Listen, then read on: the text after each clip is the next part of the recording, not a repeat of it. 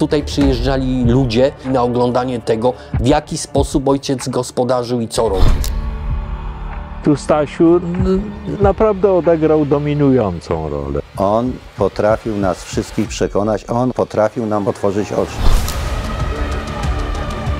Sama grupa się zorganizowała. Kościół na pewno bardzo pomógł. Strajkują Ustrzyki, Opole, Bydgoszcz czy Inowrocław. Dalej kontynuowali tą budówkę.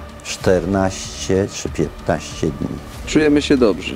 na tyle dobrze, żeby trwać. Władza zafiksowała aferę, że y, niewłaściwie zagospodarował swoje pole. Przyjechała policja, prokurator, zamknęli faceta. Jego dorobek całego jego życia, po prostu ktoś doszedł do wniosku, że trzeba mu to wszystko zabrać. A on nie miał pieniędzy na środki przeciwbólowe dla żony.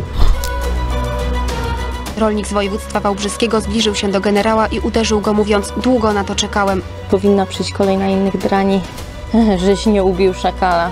On jest y, nastawiony na kreowanie się na, na bohatera. Z tym Staszkiem powinienem tam być przy tym, przy tym Jaruzelskim. Zabić go? Przecież ja nie miałem takiego zamiaru, prawda? A jaki tam miał zamiar? Dobry.